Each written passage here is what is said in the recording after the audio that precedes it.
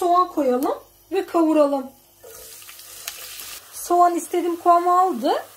Şimdi bal kabağı koyalım ve onu da kavuralım. Pirinç koyalım ve onu da kavuralım. Öncelikle tuz koyalım. Nane. Yeni bahar. Karabiber. Pul biber. Şimdi su koyuyorum. Kapatıyorum ve demlemeye bırakıyorum. Dereotu koyalım.